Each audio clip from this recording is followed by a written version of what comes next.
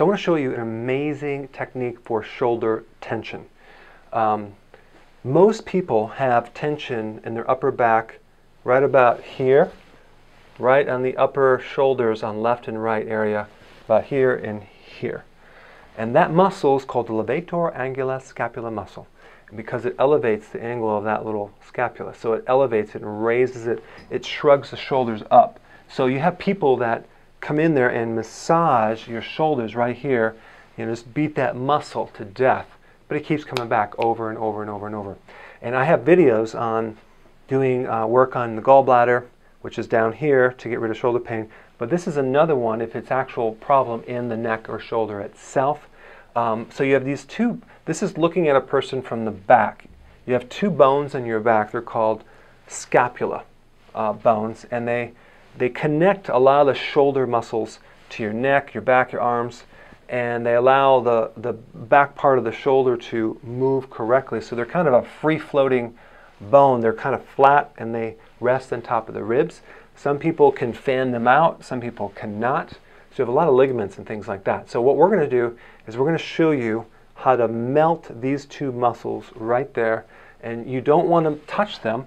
You want to work on the opposite muscle that pulls it down. And that is on the side of this little scapula here and here. So you're going to be pressing up into this part right here at this angle. And you'll be pressing on this one going this way right here. So you can do it about I don't know, about 30 seconds each side.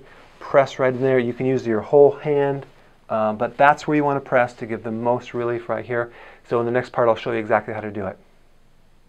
Okay, so now the scapula is a little triangle bone right here, okay?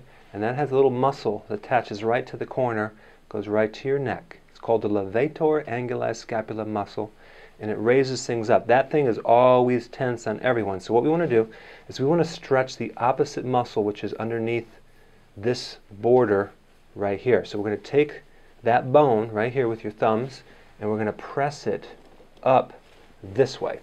So once we press this thing up this way, and we hold, hold the pressure just like that, and it's going to give the person tremendous relief. You could even do it with the palm of your hand, and you come up this way at this angle right there and we just want it because of the it's a it's a broad contact. We press up there and what's happening it's relaxing the muscle up there.